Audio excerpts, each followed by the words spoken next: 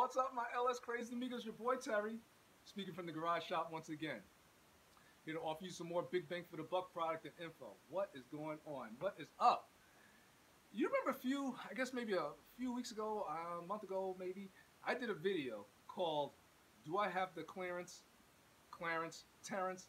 Basically, I was saying if you know, like people need if they want to install LSA in their in their favorite muscle car, or what have you, uh, will will it clear?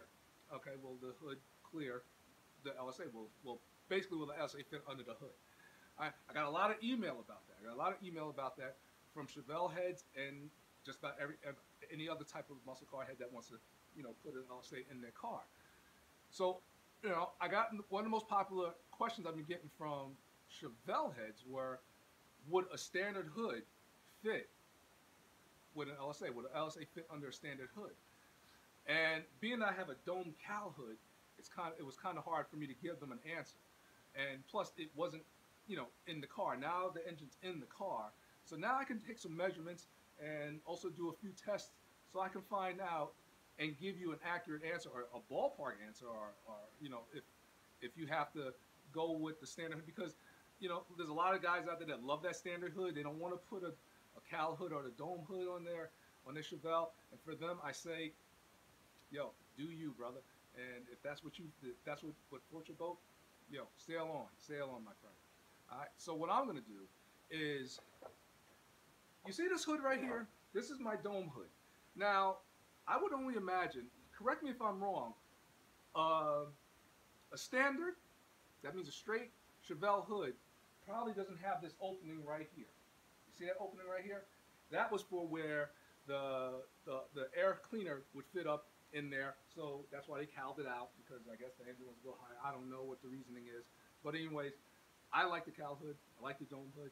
But the standard hood, I can only imagine, correct me if I'm wrong, please let me know, it doesn't have this opening. It's probably just straight across. So what I what I'm gonna do is I'm gonna take this masking tape and I'm gonna make like an X pattern from the, the points that drop down the closest to the engine. So it's right here. I'm gonna put a piece of masking tape from here across, from here across, from here across, and from here across. And then what I'm gonna do is this part, this fin of the LSA, that is the highest point of the LSA. So I'm going to put a little bit of grease right on top of it. So, and then I'm going to close the hood. Now, if I close, when I close that hood, if the tape comes in contact with the grease, it will leave a mark on the tape. The grease will leave a mark on the tape. And then we know maybe you have an issue, or maybe you're going to have an issue with a standard hood. But if it doesn't, you, you might be okay if you to use a, a stock Chevelle hood. And then what I'm going to do for people who don't have Chevelles, I'm going to take some measurements off the engine so you can go and you can take those same measurements on your car, whether it's a Oldsmobile, Buick, Ford, a, a Mopar, whatever, and you can see if it's going to interfere with closing on your hood on your favorite ride. So let's get let's get rolling. All right, as you can see, I got the tape across, almost like in a double X pattern, you know, all on its lowest points, or should I say, yeah, the lowest points facing the engine. And then what I did was I got that axle grease, as you can see. So what we're gonna do is we're gonna close this hood. And if this LSA hits any part of the tape, we know that there may be an issue if you're using a standard hood. Now, as you notice, I had uh, put, this is the highest point. This fin right here is the highest point of the LSA. So if it hits any part of the tape, we, we may have some issues if you're using a standard hood. A cowl hood, don't have an issue. But we're, we're going for, for a standard hood. Check it out.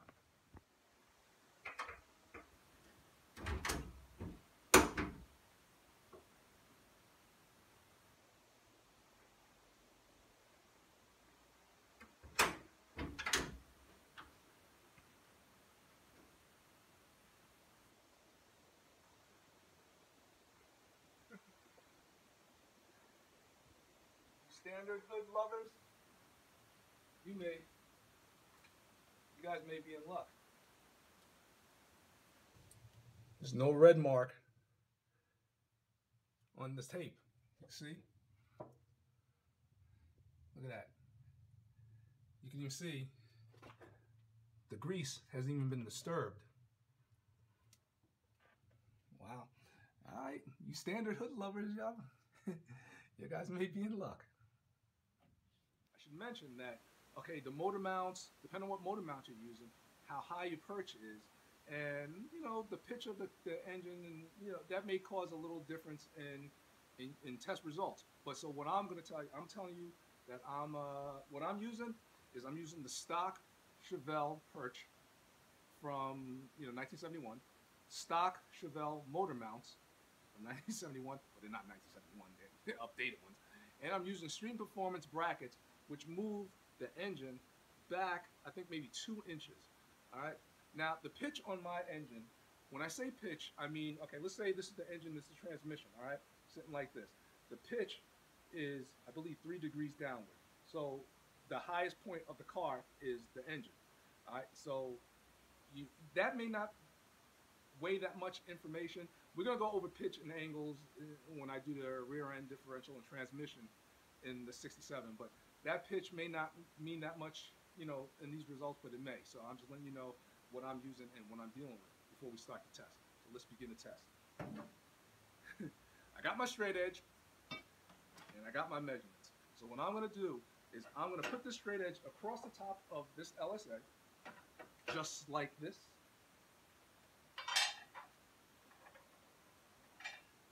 And I'm gonna pick some, some fixed set points and measure it so I can give you what the measurements are. And uh, that way you'll be able to measure and see if an LSA will fit under your hood and if you have any issues. So let's, let's, let's start this. All right, so I'm gonna take my first measurement from the front of the engine. Now being that I got all this stuff in here, it's kind of hard to get to the valley pan because that's where I really want it to be. But I'm gonna measure from, this is the, the bolt head on the driver's side of the steam line. I'm gonna measure that to my straight edge. Got my tape rule on top of that head bolt, not the head bolt, but the, the steam line bolt. And the bottom of the straight edge is about nine and a half. So it's about nine and a half inches from that steam line bolt on the driver's side to the straight edge. All right, that's in the front. So in the back, I can get to the valley pan, so that's gonna make measuring a lot easier. So from the back with the tape rule, the bottom tape rule touching the valley pan, it looks like to the straight edge, it's about 10 and 3 quarter inches. There's the measurements, so hopefully this helps you guys out if you guys are planning on doing this install and you ever said, oh, I wish some guy put a measurements out there. So here's the measurements. So I really hope this video helps you guys out when you're thinking about installing the LS in between the fenders of your favorite ride and then nestling the LSA on top of that LS engine. Really hope it helps you out because, you know, it's all about sharing the knowledge, all about, you know, that's why I give you the measurements. So hopefully, hopefully you get a little bit more confidence in, because I can understand it's probably going to be like, oh, I wonder, you know, like if this is going to fit and then you maybe have second thoughts. But hopefully these measurements will help you guys out. But I'm looking at the clock on the wall, or should I say ceiling. Time for me to head on out. And before I do, I just want to say thank you. Thank you guys for all the love and support. Yes, you too. All right. Because if it wasn't for you guys, if it wasn't for you guys, there would be no me. So I just want to give you guys like the big, mm, big hug. All right. But I'm about to head on off. And as always, please, as always, be easy. And I will catch you guys a little later. Take care.